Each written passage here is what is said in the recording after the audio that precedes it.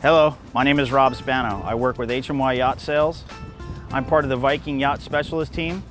Today we're at Viking Yacht Service Center here in Riviera Beach, Florida. We're going to take a look at the 2018 92 Skybridge. Here we are in the cockpit of the 92. As you can see, we've got our sunshade up to keep that sun off. This boat is equipped with the Release Marine fighting chair, the transom box, which doubles as a live well or a fish box. You've got all your cockpit hatches that contain your refrigeration, freezers, live wells, drink boxes. Uh, here you've got your mezzanine seating that has air conditioning built into the back. You've got two tackle drawer stations on either side. Located here in the middle of the mezzanine is the engine room access hatch. Open this up.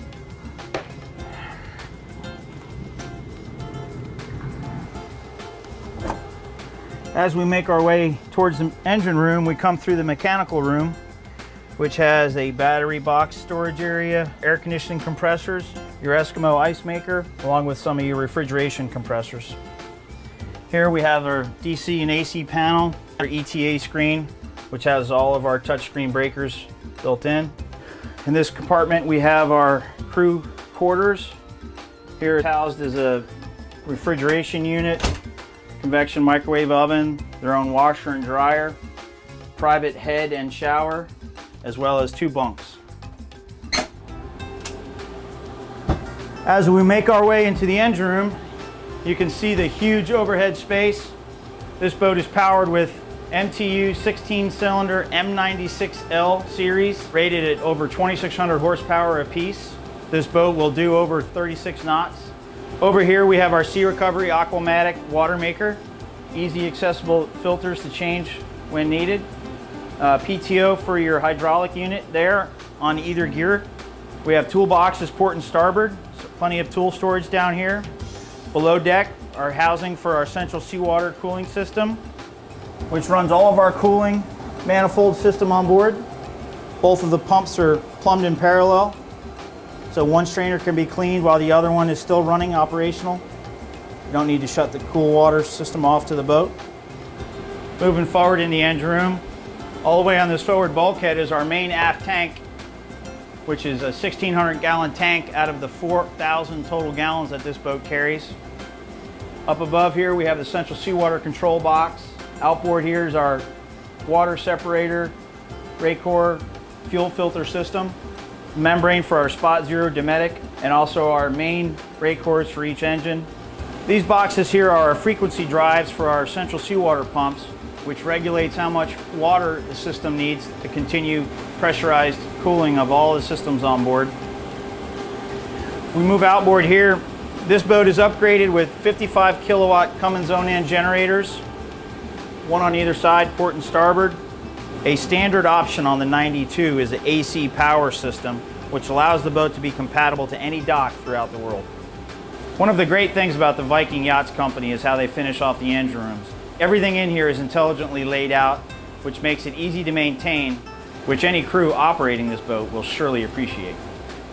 As we walk up the steps here, you'll see we have a nice table set up for six.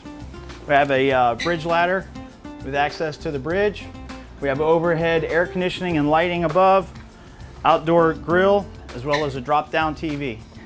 Let's take a look inside. As we go inside, you'll see the 92 salon is very spacious and provides plenty of room for entertaining. There's ample seating to port side with two L couches. The couch does lift up for storage area. A lot of crews end up using this for tackle storage. We do have a wet bar here with a ice machine located just outboard. Pop-up TV is located in the cabinetry. The wine cooler is located here underneath the bar. We have five bar stools as well as a large dining room table that can sit at least eight people for dinner. Good spot to enjoy the fresh catch of the day. Not only is there a large pop-up TV in the sitting area, there's an additional TV that enables the guests to watch the game while they're eating. The galley is a very spacious galley with six under-counter Sub-Zero refrigeration and freezer drawers, as well as a stove top and a oven. We have a trash compactor located here on the outside of the galley. As you can see, there's plenty of room for a gourmet chef to do plenty in this kitchen. Forward of the dining room on the port side here is our day head, which enables the guests to use the head while out fishing without having to go down to the staterooms. Just forward of the galley is one of our ETA screens, which is our touchscreen breaker panel system that enables the captain or crew to access any breaker anytime throughout the boat. Located down the stairway is the master stateroom. Here we have a full beam master, 24 feet in width, with a full king size bed. Has a large screen TV located at the foot of the bed. Also a full walk-in closet, which also houses the safe. One of the aspects that the women really love is this makeup vanity with a mirror built right into the cabinetry. Here we have access into the master head, which is a his and hers and has access from port and starboard and has a large shower in between. The master stateroom also includes this sitting area where you can enjoy your morning coffee while looking out the window. Now let's go forward and take a look at some of the other staterooms. Right up the stairs from the master, immediately to port, is a full-size bed, which also has its own head and TV. Located at the bottom of the steps on the starboard side is a full-size washer and dryer, which is centrally located for all the staterooms. Down the hallway on your starboard side, we have a very spacious stateroom, which has a queen bed, as well as its own private head and shower, and ample hanging storage, enough for his and hers. As we move forward down the hallway, we have a linen closet to the right. And then in this room, there are side-by-side -side berths. This room also has its own TV and also full head with shower.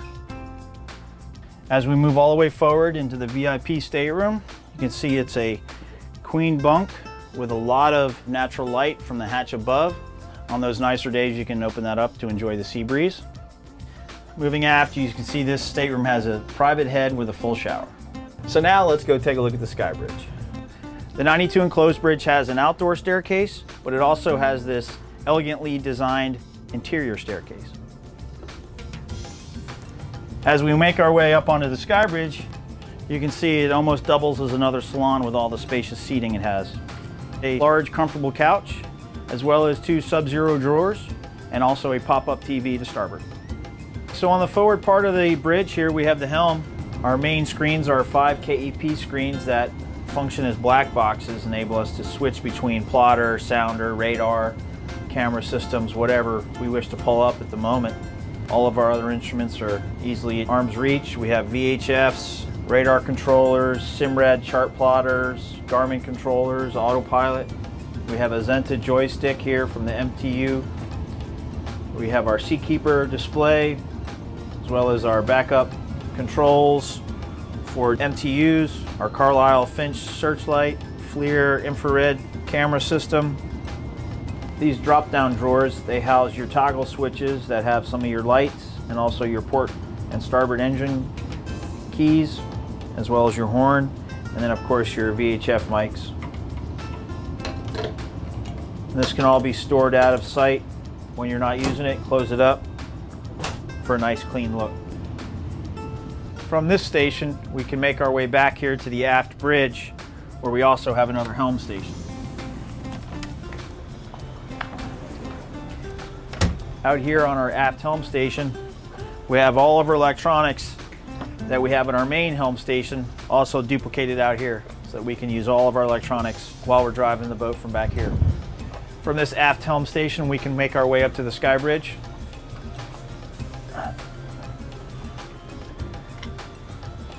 As we make our way up here to the sky bridge, you can see we have great views all the way around. We have unobstructed views of the bow from here all the way down into the cockpit. I can see 360 degrees around the boat. We have all of our electronics duplicated up here that we have down below. So I've got full capability of all my navigational equipment. Located in the drop down box, I have another Garmin screen, a Garmin autopilot, and a Furuno RD33. Located in the teaser box above are a pair of MyEpic US 9s. As we move forward on the sky bridge, you see we have full wraparound seating, as well as two forward-facing bucket seats, and also a refrigerated drink box and a wash-down sink. Okay, that pretty much wraps up our walkthrough on this 2018-92 Skybridge. If you're interested in a private showing, please contact myself or any of the other HMY brokers and we'd be happy to get you on board.